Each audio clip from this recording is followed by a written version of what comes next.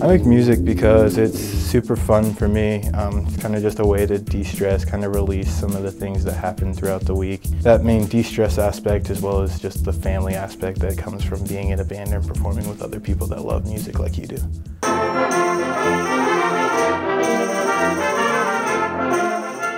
I didn't think I was that good to be able to come to the collegiate level to play band, but I got a scholarship and definitely made strides moving into the collegiate aspect of things, taking lessons and um, actually learning more, so it's been really cool.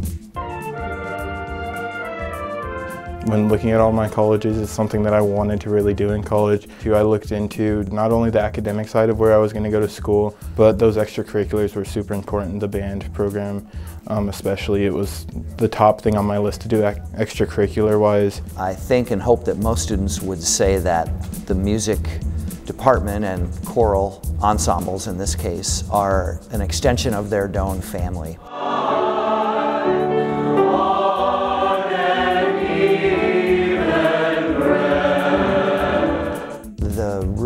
Is a place where every student can feel safe and it's a place where they can belong. That is something that every human needs and I think the fine arts can provide it in a unique way.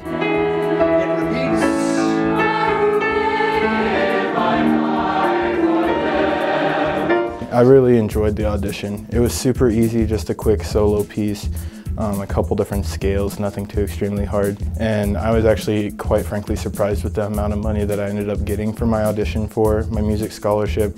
I went back and told my high school band director like, hey, I got this amount. And he was like, really? Like that's unheard of for a tuba player. I'm like, what? That's awesome. So everything in life, you're always, you're not just gonna be one, doing one thing. So uh, coming to Doane has been a major step for me. I, have been able to do band. i am in the theater. I'm an RA. You get that time just to make music, and when you perform, people enjoy it, and it's it's really cool to see like the smiles that you put on people's faces.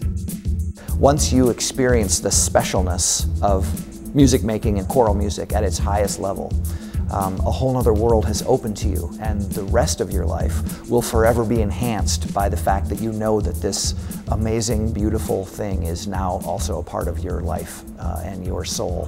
When you come to audition for a music scholarship at Doane, really the only thing you need to prepare is a solo to sing. We'll handle the rest. We'll ask you to do some typical audition things, some vocalizing, a little bit of tonal memory, some sight singing, but if you would just bring a solo or two, they can be memorized or not. Uh, we'll handle the rest. We would love to hear you.